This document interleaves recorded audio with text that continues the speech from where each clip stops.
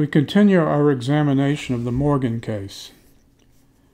The court writes Once one has accepted that the prohibited act in rape is non consensual sexual intercourse, and that the guilty state of mind is an intention to commit it, as a matter of inexorable logic, either the prosecution proves that the accused had the requisite intent or it does not.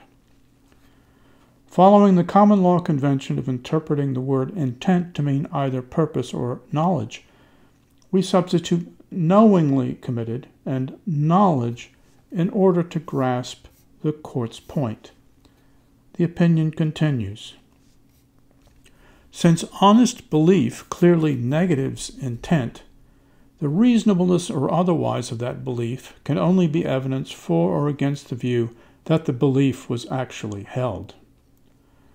Substituting, once again, knowledge for intent. We need to pay close attention to what the court is saying.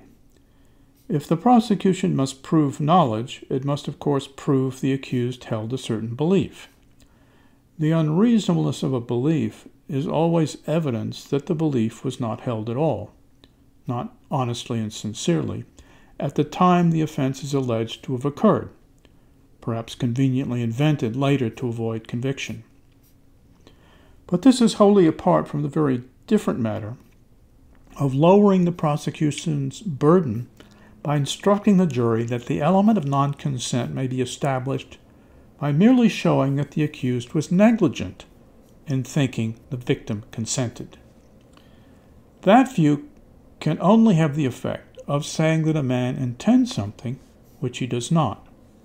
That is, that the accused knows something despite not believing it. The Morgan result, quashing the convictions, was unpopular and has been criticized both here and in the UK.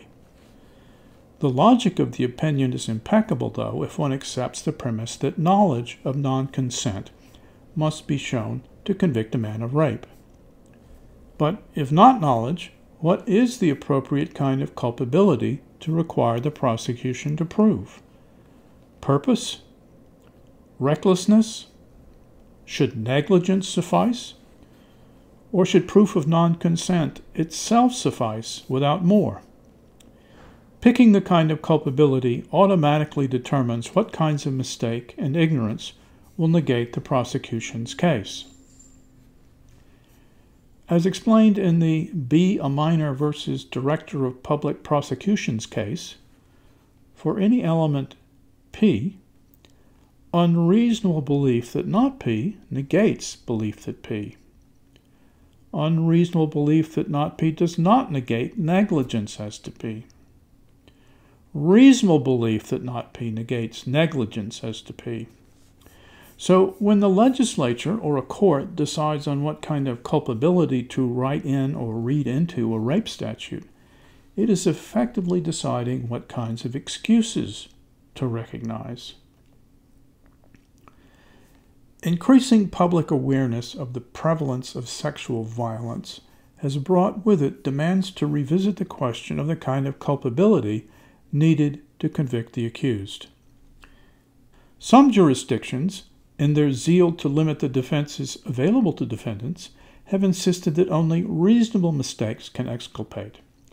For example, this Pennsylvania statute. Ignorance or mistake as to a matter of fact for which there is reasonable explanation or excuse is a defense if it negatives the intent, knowledge, belief, recklessness, or negligence required to establish a material element of the offense. If only a reasonable belief can negate culpability, then negligence is the only operative culpability requirement. The conviction of Kelly, the contractor, ought to be affirmed if this statute applied.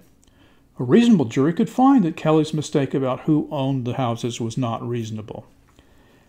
As for the crime of rape, jurisdictions are excuse the metaphor, all over the map as to the culpability issue. Take your pick. In the UK, knowledge. In Alaska, recklessness. In New Jersey, negligence. And under Commonwealth versus Lopez, in Massachusetts, no culpability need be shown. The defendant takes the risk. The effect of choosing one or the other kind of culpability required to establish the element of non consent is to raise or lower the likelihood of conviction.